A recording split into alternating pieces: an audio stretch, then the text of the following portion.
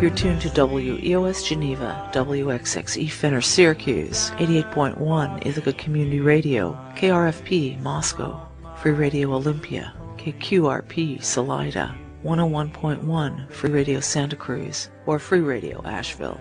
This is Unwelcome Guests. I'm Lyn Gerry. When this show went on the air five years ago, for the first four months or so, each week I played a talk by political scientist Dr. Michael Parenti. I had an archive of his talks dating back to the late 80s, and even the oldest of them remained relevant because the basic workings of American institutions had not changed. Parenti has written more than a dozen books on the relationship between commerce and militarism, the role of the news and entertainment media in propagandizing certain ideologies, the workings of empires ancient and modern, the role of history in obscuring or laying bare certain basic truths about the social system, and so on. Parenti is not the only social analyst to explore these issues, but he makes things plain. It was back in the 80s that I first heard him on a community radio station, and it was like getting hit with a bolt of lightning. For the first time I understood that the problem with our society was more basic than having rotten elected officials who didn't share my values. Parenti made me understand that most of the forces that rule our lives have been legally insulated from democratic control by design, that our legal framework is designed like a lobster trap to make it easy to go in the way of concentration and wealth and power, but almost impossible to flow in the other direction. A democracy for the few. I had been told my whole life that our Constitution was this great bulwark of liberty, and hearing what Parenti had to say was pretty mind-blowing at the time. Over and over again I applied what he was saying to the facts on the ground of what was happening nationally and internationally and I found that, by understanding the design of the system, I could read between the lines of the news and unravel the actuality from the ideology. Then I knew that what Michael Parenti was saying was true. With the Bush administration, the relationship between profit and violence has been laid so bare that it's becoming harder to ignore. It has led a number of very mainstream figures to denounce the Bush administration as a new and aberrant thing. But it isn't. It is just a very undisguised iteration of what this state and all states are about and have been about the maintaining of social hierarchies and social classes. Every piece of this earth carved up and sold to the highest bidder. We are indentured servants who have the right to buy our way to freedom, but can never get there. Here is the life of the typical person in 21st century America. He or she will rise early each day to get into a car and join a traffic jam through a blighted landscape, to go to a hermetically sealed building, to sit in a gray carpeted cubicle or a garish plastic retail outlet, and perform repetitive tasks as ordered for the purpose of earning a measly paycheck from which to pay an exorbitant rent, payments on a car, various insurances that will refuse to pay out when you need them, interest on a credit card, and taxes to a government that is working hard to make sure that this treadmill going nowhere goes on forever. Our typical person will live in fear of losing this hated job, because it could be much worse, and for many it is. Much worse. One third of people on this planet face outright starvation. You can be a prisoner or a prison guard, but even a prison guard spends the equivalent of serving an 11 year sentence inside the walls of a prison by the time he or she retires. Ultimately, it's not even about money. It's about belonging to yourself, about living your life in a beautiful way, Money is just the gatekeeper, the ransom that must somehow be paid, and few can gain enough to get free. And they must do great harm to gain it. So by the time those very few work their way to the top, they are callous and vicious. Most of us have been given a lose-lose choice. You can have a forest or a miserable job in a clear-cut strip mall hell. This week on the program, the symbiotic relationship between wealth and poverty and the globalization of inequality. We begin with Dr. Michael Parenti speaking on April 8th at Hampshire College. I really want to talk about wealth. I think wealth is what it's all about. Throughout history, wealth and poverty have existed side by side, and they've existed and been perceived as an unfortunate juxtaposition. Isn't that a pity? So much wealth next to so much poverty such a disparity. Isn't that so unfortunate? In fact, there's a causal link between the two. And rather than bemoaning the unfortunate juxtaposition, we should really start understanding that there's a causal link.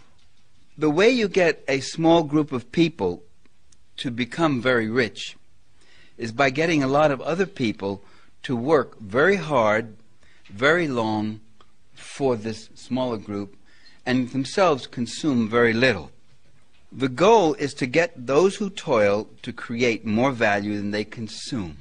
That surplus value, as it's called by some people, there are two small groups that actually believe in this concept of surplus value and use it. And that's the Marxists and the capitalists.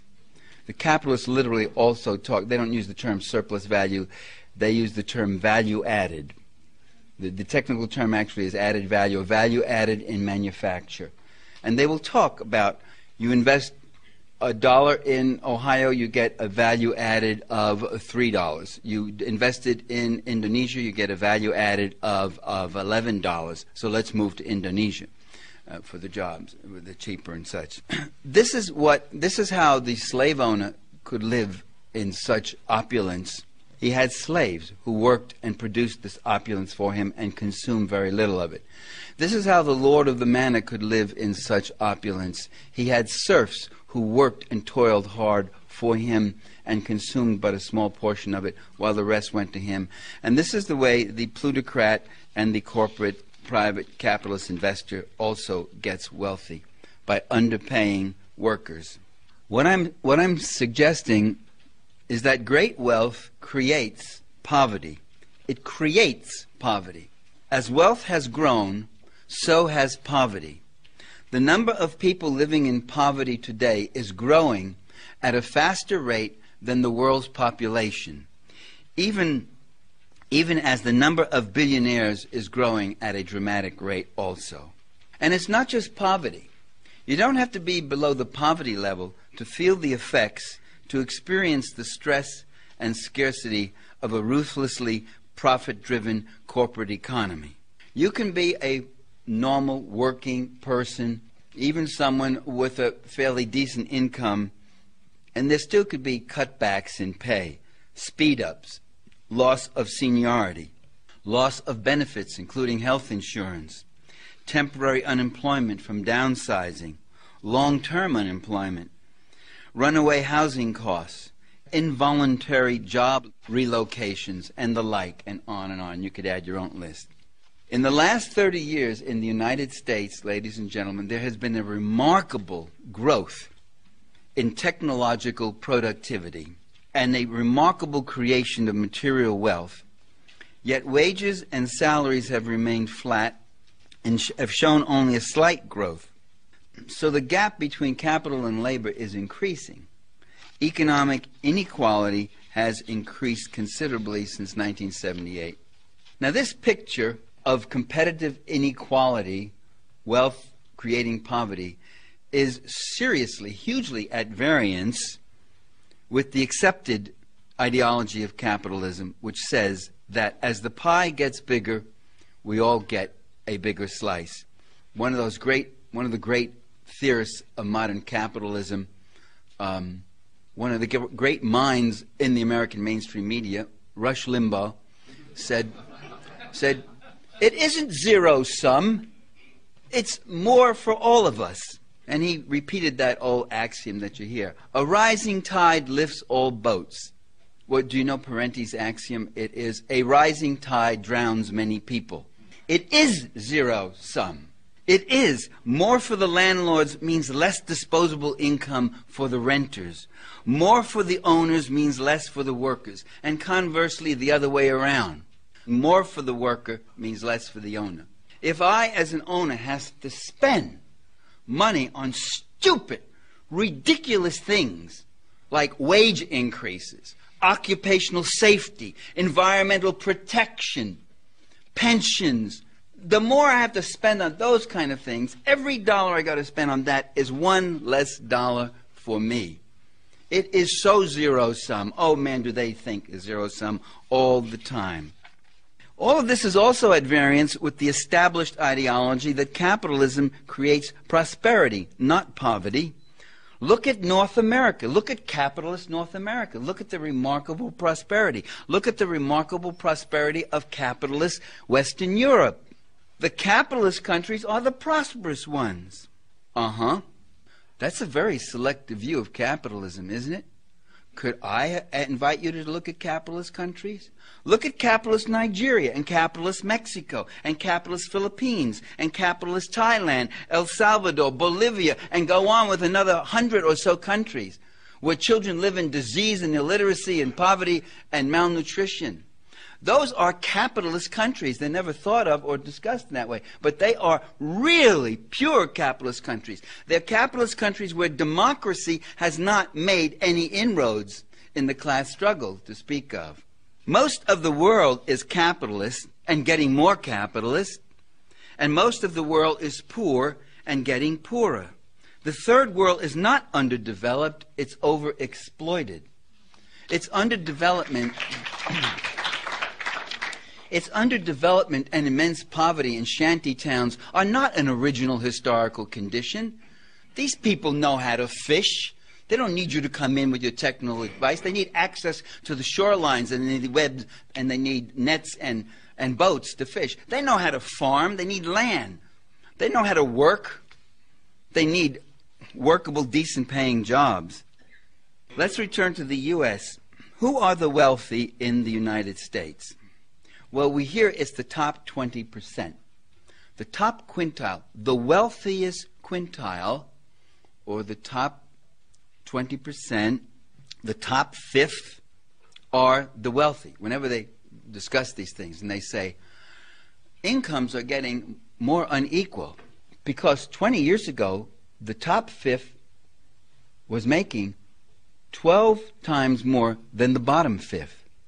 And now the top fifth is making 14 times more than the bottom fifth. Well, let's stop playing with those kind of silly statistics, okay? The top fifth, to be in the top fifth, all you have to make is $65,000 a year. And you're in the top fifth. So you're one of the rich? No. A hundred thousand. If you make a hundred thousand, a hundred thousand is a very nice salary in this country. I've never seen it but um, 100,000, you would be in the top 4% in the country. But that doesn't make you rich. You're not the rich. You can be snuffed out of your job, and people who are making 100K have experienced that. I've also read one place that in the last 20 years, the top 20% increased their income by $27,000 in 20 years. What is that? This, this has nothing to do with wealth. Let's talk about real wealth.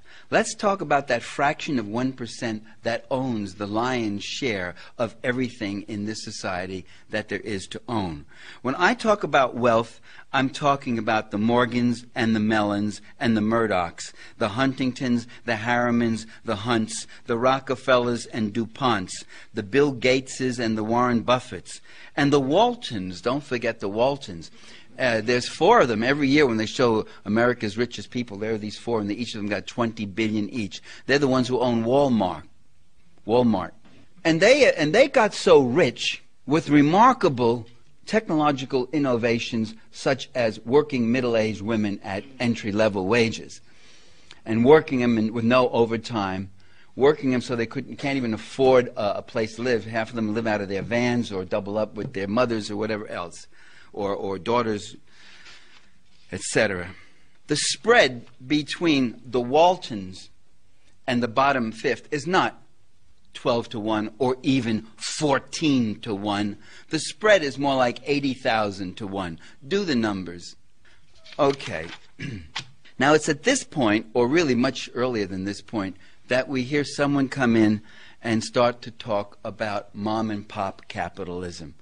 the small business that somebody starts and he hires some people and they work for him and he creates jobs and they perform service. It's usually done in this nostalgic, sentimental way, the uh, entrepreneurial ethic of going out there with an idea and doing this, and he struggles hard. I'm not today talking about the entrepreneurial mythology, okay? I'm talking about the transnational monopoly finance capital reality. Mom and pop small businesses are not calling the tunes, they are the squirrels that dance among the elephants. Lenin was right when he said 10 million small businesses count for nothing, a few giant cartels count for everything. What do you mean? Squirrels dancing, by the way, squirrels dancing among elephants have a, a very low life expectancy. And, uh, and, and hundreds of mom and pop businesses get stamped out. Hundreds get stamped out every week. Well, don't they make a modest contribution? No, they don't make a modest contribution. They make a huge contribution. All the net all the net increase in jobs in this economy comes from small and medium-sized businesses or from the public sector all the net increase in jobs. The net increase in new jobs, the net growth, the net growth in jobs after you count for downsizing, outsourcing, layoffing, hiring new people, opening a factory here but closing one there, and all. The net increase contributed by corporate America is zero, zilch, nada. Let's let's look at the Waltons again. What is it? What is the imperative that propels wealthy individuals I mean, multi billionaires we're talking about, and their wealthy corporate financial organizations. What is it? What is it that makes Sammy run? It's the desire, the dedication, nay, even the necessity to accumulate still more wealth. As Marx said in Volume 1 accumulate, accumulate, accumulate. You got to get more. Why? Why would people who have billions of dollars, who have more money than they know what to do with, who have more money than they could spend in utter opulence and luxury in 10 lifetimes, why do they go out there to make still more as if their crust of bread depended on it? There are several reasons, I think. First, I really do believe that wealth is addictive, that the haves become the have mores, and the have mores want to become the have it alls. There's only one thing that every plutocratic class in every society throughout history has ever wanted, and that's everything. All the best herds, all the best lands, all the best resources, all the civilities and comforts and services of civil society while paying none of the costs. They want it all. They have a lot, they can get more, and they want it all. So, this is the way it goes fortune whets the appetite for more fortune. You can't take it with you, but in a way you can. There was a corny comedian back in the 50s, very popular then, TV comedian named Milton Berle. Many of you, many, I can see many of the students here have never, never seen Milton Berle. You've never seen Milton Berle perform. Consider yourself lucky, but um, but he did say one thing which I thought was is very apropos. He once one of his jokes was he says, "If I can't take it with me, I'm not going."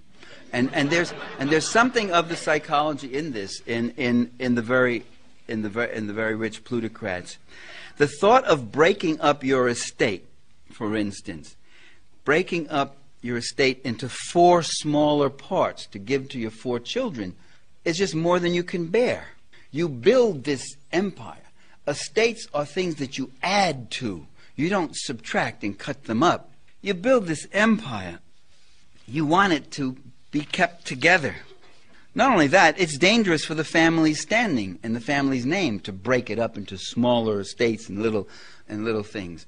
So for its standing, this estate has to stand. And so the, there was this curious invention called primogeniture, where everything, all the family fortune and wealth, was given to the oldest son. And the younger sons had to make do with uh, top echelon appointments in the church or the government or the military. And the daughters, hopefully, they could marry well or be sent off to the nunnery. So, In a way, you are keeping all this wealth. You're not, not quite taking it with you, but you are immortalizing it to secure the family name and fortune, though not necessarily the well being of all family members.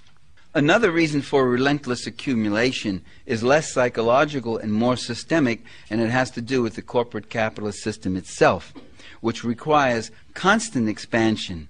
Even in a monopolistic oligopoly with a few corporate giants that dominate a field, and, and, mergers are the rule. And you know, today you see, we see now mergers. You don't see a giant corporation swallowing up smaller companies. You see giant corporations swallowing another giant corporation. I mean, Chevron and Texaco and, you know, Unocal and Union Carbide. I mean, huge things cannibalizing each other.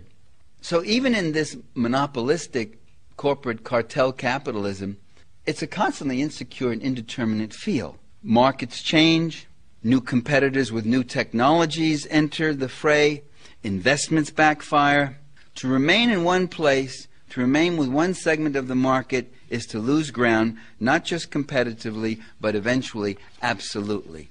Those companies in New England that stayed purely regional, nobody remembers their names today, for the most part, unless it's a, a, a particular service industry that's fixed in a particular region for certain, for certain reasons. Another reason for accumulation is that wealth, even great wealth, is never totally or absolutely secure. How do you protect what you have from the following kinds of dangers? Wealth can get expropriated, it can get plundered by competing forces, by revolution, insurrection, invasion, looting. It could be lost through devaluation or failure to reify or realize its value. What if all my money is in Confederate bonds and the Confederacy loses the Civil War? There were people this happened to. A whole class, in effect, was snuffed out although they actually kept control of most of their land. But they lost immense amounts of capital. This capital happened to be in the form of human beings, hundreds of millions of dollars in capital uh, with the emancipation of slaves. Also, remember the key instrument to finance capital is money. I was taught in school that money is a medium of exchange, and that has a very nice, neutral sounding tone to it. Money can be used for good, it can be used for bad. You can use it to build a hospital or bribe an official or, uh, or, or bomb a village. But money, historically, in class society, becomes a means of abstracting and mobilizing and accumulating wealth. It gives fluidity and, and abstraction and mobility to wealth. In the olden days, when wealth consisted principally of land and castles and crops and herds and furs and maybe some gold cups and silver plates or whatever else. You could accumulate just so much. But abstracted from material wealth, money becomes a powerful tool for accumulation. So, in the world of rich and poor, there's nothing neutral about money. Money is an invention for the rich, it doesn't serve the poor. It's the same kind of same kind of gibberish you hear about technology. Technology is a neutral thing. Technology could be used for good or it could be used for bad. No, but technology is created and formed in a social context, in a class structural context. And most of the technology that we see being developed is for the powers that be. In fact, government, government technology, when you think about it, almost all of it is for surveillance, communication, and destruction and control.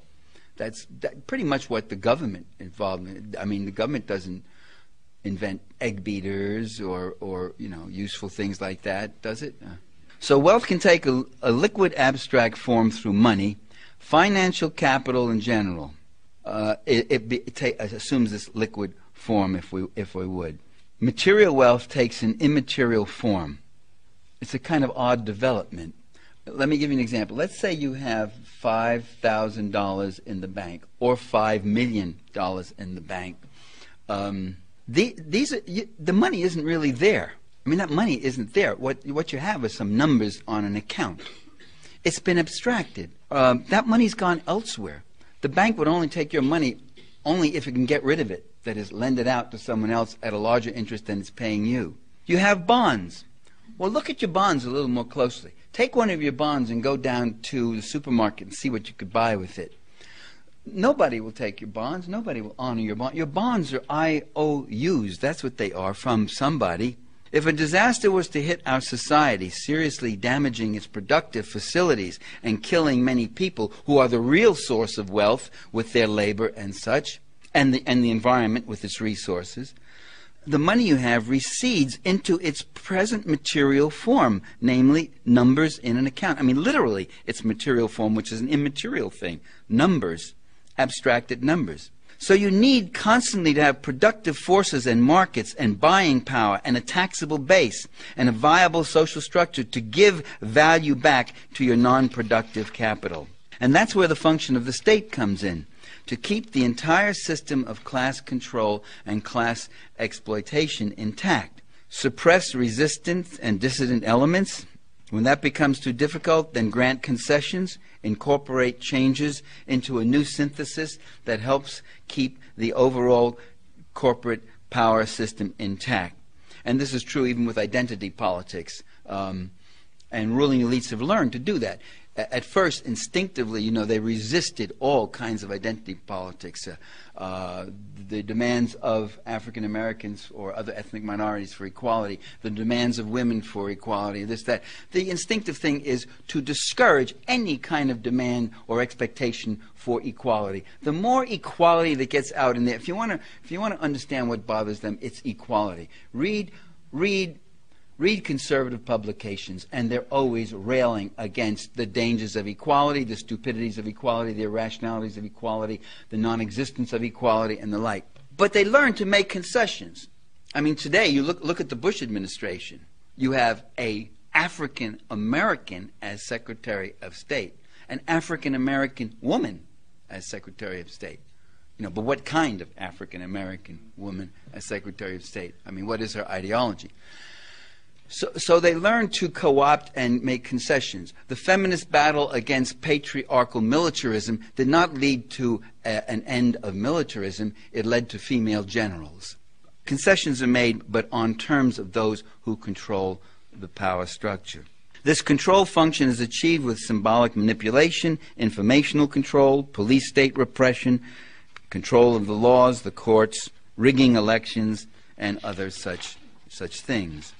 Another function of the state, besides this, the class control function, is to protect the owning class from itself, from its own avarice.